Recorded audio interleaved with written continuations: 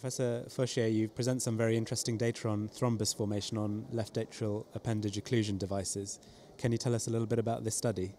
Yes, the study um, was uh, in France. It, uh, it was a multi-center study in uh, uh initially seven and now eight centers, and it's about uh, 450 patients. Uh, the, the, this study was some kind of real life study. I mean, it was not a fully high experience in, in centers only implanted for that. It's all the centers, more or less, in France doing this type of procedure. And the mm. second aspect is that it was unrestricted by the use of one specific device. It's the, the, the two main devices uh, were implanted in, in this series. So patient with the Watchman device and patient with the Amplatzer devices. And, and we try to see the outcomes of these patients uh, based on the characteristics uh, and try to see one specific point, which is the issue of thrombus formation on device during the follow-up. Uh, you know that the, the, the, incidence of these events is uh, debated and the significance is also debated because some, some physicians said there is no meaning, it will spontaneously disappear. Some others consider this is a, a thrombus is not a benign condition. So th this was the purpose of uh, our study. And uh, so, in the patients where you did see some thrombus formation, was there any association with risk of stroke after that? Yes, absolutely. So the, the first point uh, was the, the, the, incidence that we saw, and it was between four and 6%. Uh, it was quite similar with the two devices, mm. Uh, but 6% it's rather at the higher range of what has been described, so it's not uncommon and, and, and not all the patients uh, eye some imaging, so it may be uh, even higher when you, you, you consider the, the percentage on patient with imaging. Uh, first point. Second point, there were some predictors of uh, thrombus formation uh, and the, the, the, the, main point was that patients with a history of stroke uh, uh, had a higher risk of thrombus formation. So mm -hmm. patients with a capacity to produce thrombus, they, they yeah. had already thrombus and then they have a new thrombus formation on the device uh, mainly. And second, we uh, found that uh, antithrombotic therapy may play a role. There were very various scenarios for antithrombotic therapies in all the patients, some with antiplatelet, other with no antiplatelet, some with dual antiplatelet, anticoagulation, even some patients with no antithrombotic therapy at all. And we found that dual antiplatelet therapy was associated with a, independently associated with a lower risk of thrombus formation, which is uh, a first results.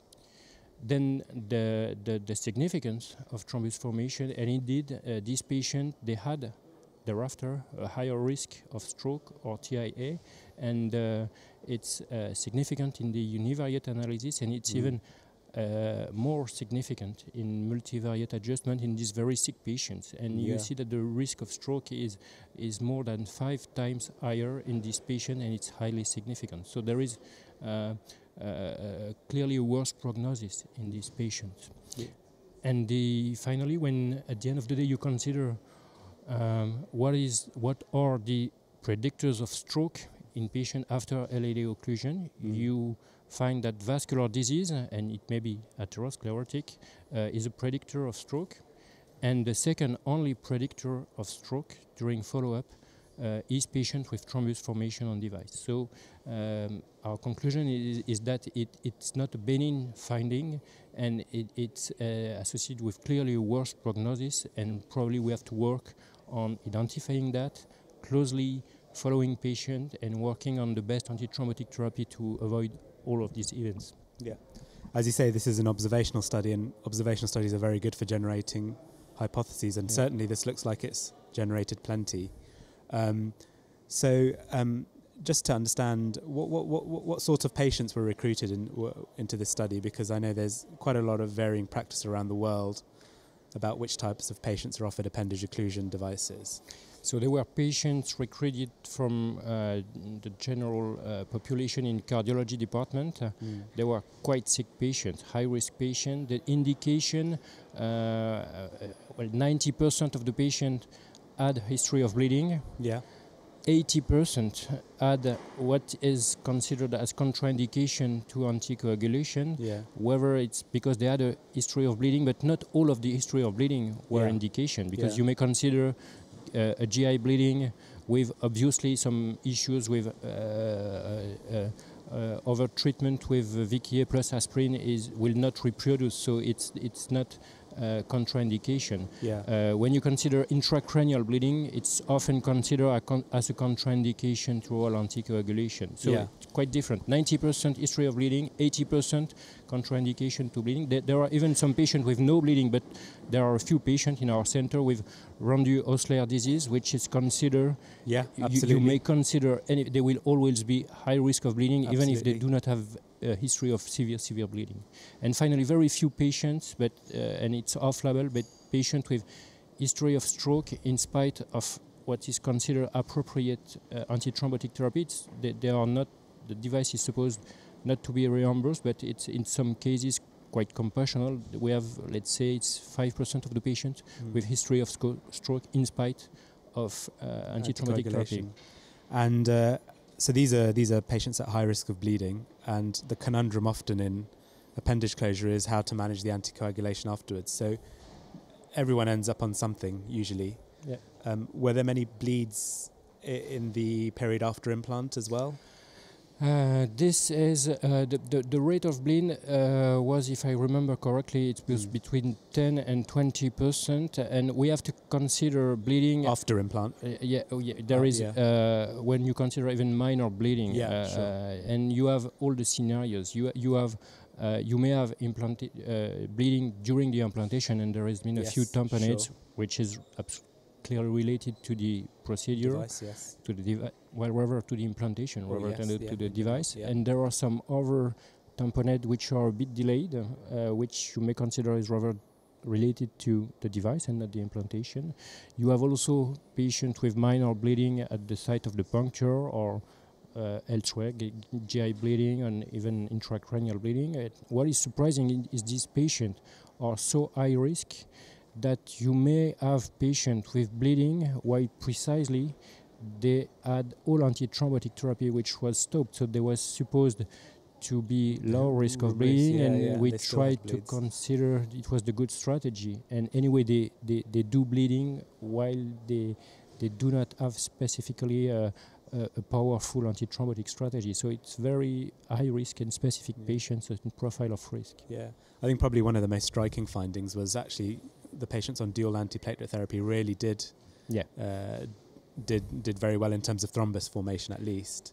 yeah Um, Uh, what we well we we check the data and uh, we what we our feeling initially was that patient with no antiplatelet therapy did quite bad and it Yeah. it makes sense because it it's implanting devices it's Yeah. quite like implanting stent and you may think that at least you may need an initial period of at least one antiplatelet therapy yeah, well, actually, the statistical analysis resulted in the fact that the dual antiplatelet therapy was associated with a, a low risk of thrombus formation, Mm.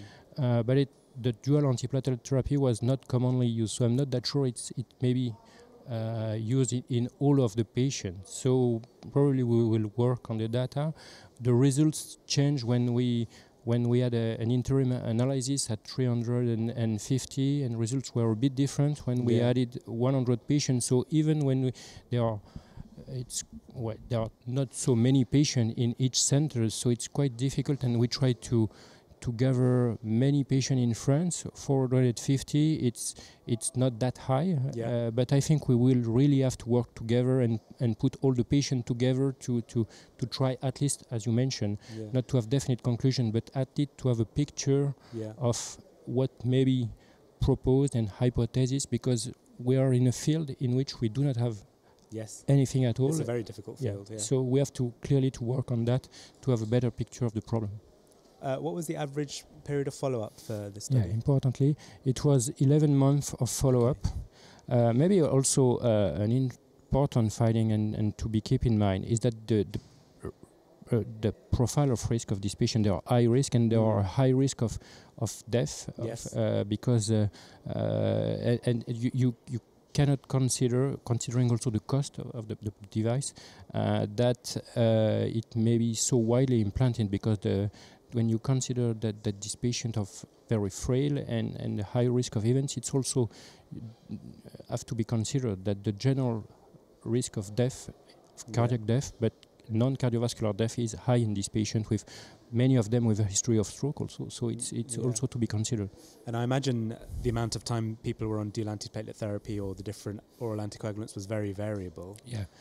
Do you think there's a minimum period? Where You, did you get a sense for a minimum period people needed to be on? I try to work on that because yeah. clearly we, we, we try and, and the, the, the you want to get them off ideally, really, yeah, don't you? The, the, the, the, what we have with patients with atrial fibrillation and coronary artery disease, you, you, you know that the recommendation yeah. with a different period, and we try to to to to see that, but it's uh, once again observational study, yeah. highly difficult to deal with this different period, and and uh, even trying to to make uh, a relevant subgroup yeah. uh, was a decision. We tried to gather patients with one antiplatelet, dual antiplatelet, oral anticoagulation.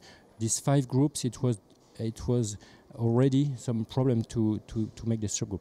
Period it is it's it's uh, even more complicated to try to identify, but clearly we have to work on that. It's it's a key issue clearly, but we we have to have many patients, many follow-up, try to categorize that. It's really difficult, particularly when you consider observational yeah. study. Is there a, do you have your own practice from your own implants? What do you tend to do? Um, well, it, it may depend. That's the, the, what we find also is that the well, maybe not surprisingly, but for a physician, it, it, it, it makes an issue, is that the only difference between patients with the Watchman device and those with the Amplatzer device yeah. was not related to the clinical characteristics. Yeah. But at the end of the day, it resulted in different antithrombotic management because probably the, the, the design of the study, the historical design, were a bit different with, with each of the device. Uh, one with the Amplatzer was rather on uh, antiplatelet uh, and a short duration yeah. and, and oral anticoagulation for the Watchman. Yeah. So different. So same patient, different device, different, different antithrombotic management, regime. which is does not really make sense for the, pa the patient. Same yes, patient has a different antithrombotic uh, uh, different antithrombotic therapy. So uh, the practice is that we try to have uh, one month or uh, three months or dual antiplatelet therapy, and then we try if it's possible. But patients with a major history of bleeding, I think dual antiplatelet therapy it's very high risk of yeah, bleeding. Absolutely. So it's it's it's it's a, it's really a dilemma. Uh, yeah. Uh, so saying it does not make sense at all. Probably antithrombotic therapy, the risk is with dual antiplatelet therapy. Yeah but it's also not on a short period, it's on a long period. So even if you have a powerful antithrombotic management for three months and possibly a high risk of bleeding, but it will be on a short period, and you will you will closely follow this patient for one, two, three months, and then you will stop, and then on the long term, there will be a benefit in terms of risk of bleeding. So three months, maybe yeah. dual antiplatelet therapy, in case it's not possible because high high risk of bleeding, maybe only one or yeah, one antiplatelet for yeah, three months. There will be the difficult cases, yeah. Yeah. And in some patients. And then after the three months, down to nothing, or down to the present times when we are uh, dual antiplatelet therapy, we move to one. Single, yeah. Yeah. Uh, some patient uh, we try to uh, switch from, as it has been proposed from coronary artery disease and stent implantation, we try to switch from, and it it, it should make sense from antiplatelet and you, you may have appropriate endothelialization yeah. and then the patient gets stable and then in case it's possible to have uh, a low dose of one of the new anticoagulant, it might be okay in case there is no contraindication. Yeah. Uh, but it's really on an individual basis that we try to, to find the best option. Yeah. And in some cases, no therapy at all after three or six months. Uh, it's, but it's it. Finally, you may it's 400 patients, but they are all very different patients. Yes, it's, it's quite yeah, difficult. Definitely. Okay, well, Professor Fauchier, that's a, v- a very interesting data, and I'm sure the basis for, for, for future study as well. Uh, it's a pleasure speaking to you. Hope so. Thank you very much. Thank you.